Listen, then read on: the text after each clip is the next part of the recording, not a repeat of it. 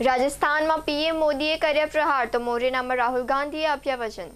વડાપ્રધાન નરેન્દ્ર મોદીએ રાજસ્થાનના અજમેરમાં વિશાળ જનસભાને સંબોધન કર્યું છે. અજમેરમાં પીએમ મોદીએ કોંગ્રેસ પર આકરા પ્રહાર કરતા કહ્યું છે કે વોટ બેંકની રાજનીતિ કરનારાઓએ ભાગલા પડાવ્યા છે. ભાજપે હંમેશા લોકોને જોડવાનું કામ કર્યું છે. કોંગ્રેસના નેતાઓ એક પરિવારનો ગુલામ બની ગયો છે. પરિવારવાદની રાજનીતિ માટે વોટ બેંકની રાજનીતિ કરવામાં આવી રહી છે.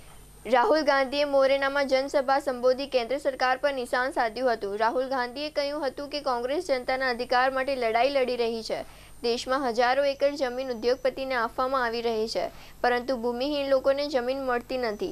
ખેડૂતોની જમીન તેમની પાસેથી આંચકી લેવામાં આવી છે. રાહુલ ગાંધીએ વધુમાં જણાવ્યું કે સરકાર ખેડૂતોના અધિકારના કાયદાને સંસદમાં રદ કરવાની તૈયારી પણ કરી રહી છે.